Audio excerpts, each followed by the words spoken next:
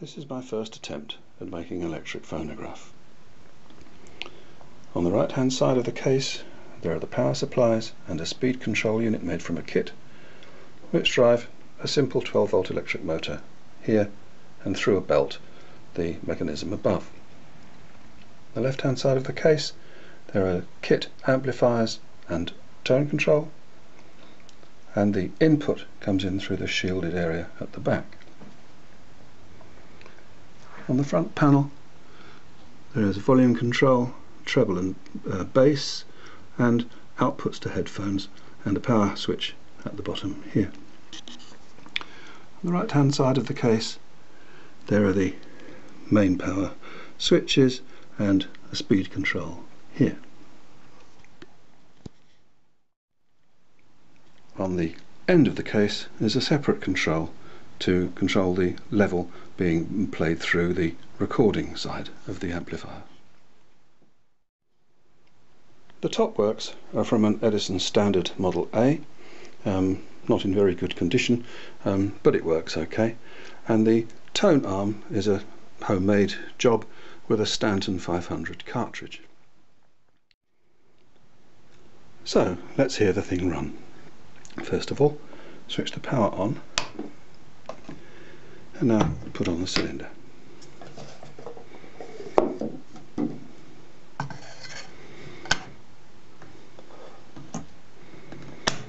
Start the motor, turn on the audio.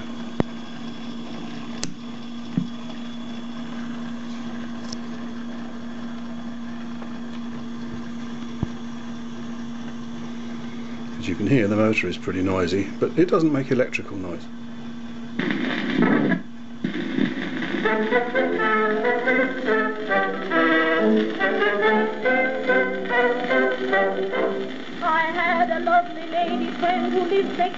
me.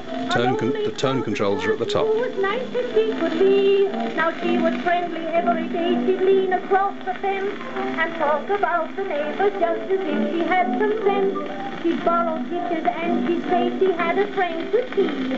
I used to think it funny she had not invited me. I learned the fact a week ago that really made me mad. My husband was the only company she ever had. Now I didn't mind the On the end of the mandrel is a wheel with reflectors on it to be read by a contactless tachometer.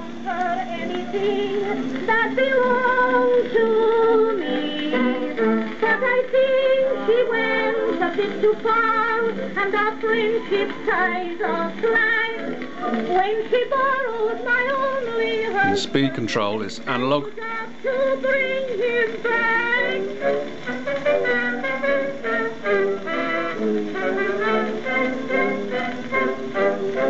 My lady friend came to our house. And this machine was used for recording m many of the early uh, CDs for the reference series of books. This job has now been passed to the Mark II, which is on another video. I waited for an hour, then I found they had ran away. And then I learned some tricks my friend had that very day.